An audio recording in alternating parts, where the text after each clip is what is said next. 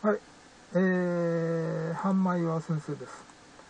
えー、MT ですね、えー、で注意するっていうことがあの大事でしてね、あのー、EA とかですね、インジケーターでプロテクトかけておくときですね、現在ね、えー、イヤーがで、あの、日にちが2018年で、あのー、2018年なんですよ。ね。あまあ、これは7月に設定したんだけども、実際ね、1900年の1月になってるんですね。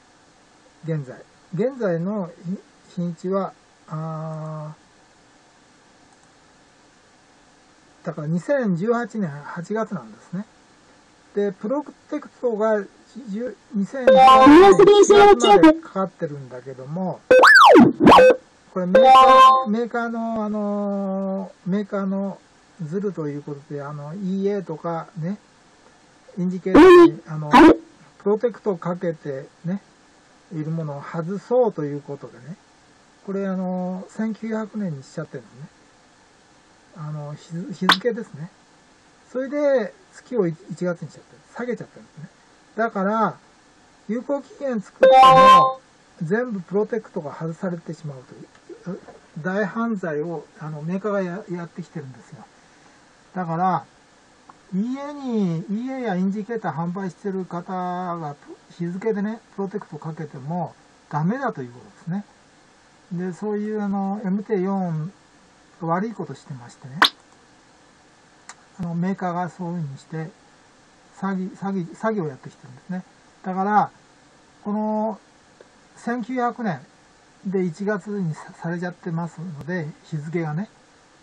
だから、プロテックトが時間制限というのが、時間ですね、ができないという状態されてる。だから全部ね、盗みとも取るんですよ。ね。メーカーはね。だから、あと、あの、家のこのメーカーは分析できますから、あの、コード、分析コードを自分で発行してるんで、EA とかインジケーターでプロテクトをかけることがソースとして変換されちゃいます。ですから、あの、全部メーカーが隠し持ってますからね。これにぜひ注意してください。このプロクテも、プロテクトもそういうことですね。非常にね、あの、MT4 の、あの、ロシアの会社の、えー、MT4 は非常に犯罪、犯罪が激しい悪いんですよ。ね。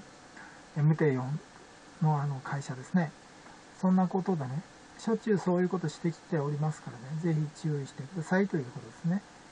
えー、またあいろんな情報をありましたらお伝えいたします。えー、2016年ズルトレーダーのバイナリーオプションにおいて日本一から世界一になったななっている条件近く投資をしていたあバイナリー世界バイナリーオプションスペシャリスト社の半馬洋先生でした。どうもありがとうございました。